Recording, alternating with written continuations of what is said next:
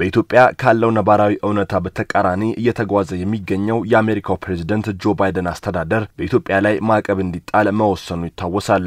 ይህ የባይደን አስተዳደር ውሳኔም በበርካታ ኢትዮጵያውያንና በሀገሪቱ ስላለው እውነታ በቂ መረጃ ባላቸው የሌሎች ሀገራት ዜጎች ሳይቀር ተቃውሞ እየደረሰበት ነው። ፕሮፓጋንዳ ቱዴይ በሚል ቻናል ላይ ትንታኔዎችን በመስጠት የሚታወቀው ጋዜጠኛ ቤንጃሚን ኖርተን የፕሬዝደንት ባይደን አስተዳደርን ውሳኔ ተገቢ አይደለም ሲል ተችቷል። ፕሬዚዳንቱ ኢትዮጵያን በተመለከተ በቅርቡ በሰጡት መግለጫ ላይ ምልከታውን ያስቀመጠው ጋዜጠኛ ኖርተን ፕሬዚደንት ባይደን በሀገሪቱ ላይ የምጣኔ ሀብት ጦርነት ለመክፈት ሲሉ ኢትዮጵያ የብሔራዊ ደህንነታችን ስጋት ናት በማለት ያቀረቡት ማሳመኛም አሳፋሪ ነው ብሏል።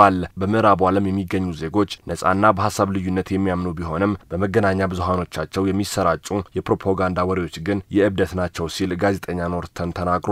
የዩናይትድ ስቴትስ መንግስት ጥቅሙን የሚጋፋበትን የትኛውንም ሀገር የብሔራዊ ደህንነት ስጋቴ ነው በሚል ሲያጠፋና ሲያሽመደምድ ቆይቷል። ከሰሞኑ ኢትዮጵያ የገጠማት ሁኔታም ይህ ነው ሲል ጋዜጠኛው ያስረዳል። አሜሪካዊ ከሆንክ ኢትዮጵያ የአሜሪካ የደህንነት ስጋት ስለመሆኗ አስበህ ታውቃለህ?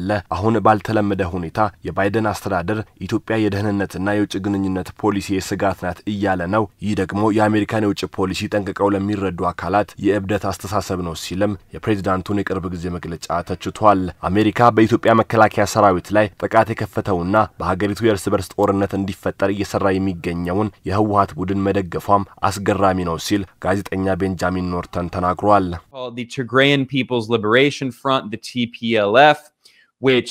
ባለፈው ዓመት ጥቅምት ወር በኢትዮጵያ መንግስት ላይ ጥቃት የከፈተው የህወሀት ቡድን በአሜሪካ ድጋፍ በሀገሪቱ የእርስ በርስ ጦርነት እንዲፈጠር እያነሳሳ ነው። በተመሳሳይ ደግሞ በሰብአዊ ድጋፍ ስም ጣልቃ የመግባት ፍላጎትም እየተመለከትን ነው። በቀድሞ የሀገሪቱ ፕሬዚደንት ኦባማ አስተዳደር ውስጥ የነበሩ እንደ ሳማንታ ፓወር አንቶኒ ብሊንከን ያሉ ግለሰቦችም በዚህ ሁኔታ ውስጥ እጃቸው ረጅም ነው። እስካሁን ጠንካራ መንግስት መመስረት የተሳናት ሊቢያ የፈረሰችው በእነዚህ ሰዎች ምክር ነበር። የፕሬዝደንት ጆ ባይደን ባለስልጣናት በነዳጅ ሀብት የበለጸገችውን ሊቢያ የፈረሱበትን አካሄድ በቀጥታ ወደ ኢትዮጵያ ለማምጣት እየሞከሩ ነውም ብሏል። የጋዳፊን አስተዳደር ለመጣል የበሬ ወለደ ሪፖርት ያቀርቡ የነበሩት እንደ አምነስቲ ኢንተርናሽናል ያሉ የመብት ተሟጋች ድርጅቶች ዛሬም በኢትዮጵያ ላይ ተመሳሳይ የሆነ ክሳቸውን እያሰሙ ነው ሲልም ኖርተን አብራርቷል። የፕሬዝደንት ባይደን አስተዳደር ለዓመታት ተቃቅረው የነበሩት ሀገራት የጀመሩት ግንኙነት እንዳይሰምርና የአፍሪካ ቀንድ አካባቢ እንዳይረጋጋም ህወሀት ቡድን ግልጽ የሆነ ድጋፍ እያደረገ ነው ሲልም ጋዜጠኛው ገልጿል።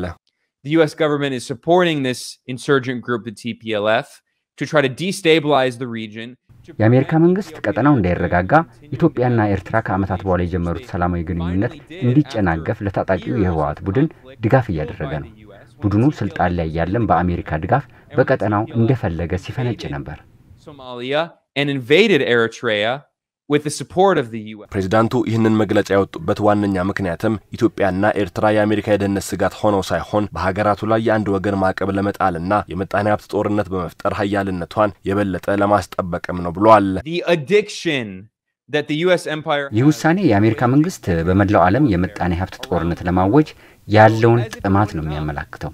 የአሜሪካ መንግስት በቻይና፣ ሩሲያ፣ ቬንዙዌላ ኩባ፣ ኒካራጓይ፣ ኢራንና ሶሪያና ሌሎች ብዙ ሀገራት ላይም ተመሳሳይ የምጣኔ ሀብት ጦርነት አውጀዋል።